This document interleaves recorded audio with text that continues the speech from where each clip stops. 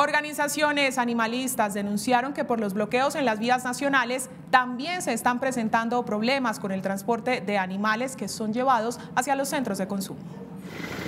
Recuerdan a los alcaldes que la Ley 84 de 1989 los obliga a disponer de alojamientos y a garantizar otros mínimos vitales a los animales atrapados por bloqueos o marchas. Así que señores alcaldes, Comité Técnico Nacional de Bienestar Animal e ICA, mientras los animales sigan sufriendo en esta industria cruel e innecesaria, es deber de ustedes cumplir y hacer cumplir las normas para reducir el padecimiento de los animales y procurarles un poco, un poco de bienestar. Según el ICA, diariamente entran a Bogotá unos 3.700 animales rumbo a sitios de distribución de alimentos. Aproximadamente ya hay como unos 150 o 200 pollos le pondría yo ya ahogados.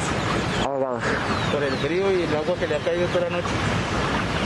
Eso ya es pérdida para el dueño del camión y para el dueño del pollo por lo menos la comida, ahorita los, los galpones están sin comida, esa gente va a seguir perdiendo pues porque no tiene cómo transportar la comida. Se han dispuesto en el país cuatro santuarios para acoger animales de granja afectados por el paro nacional.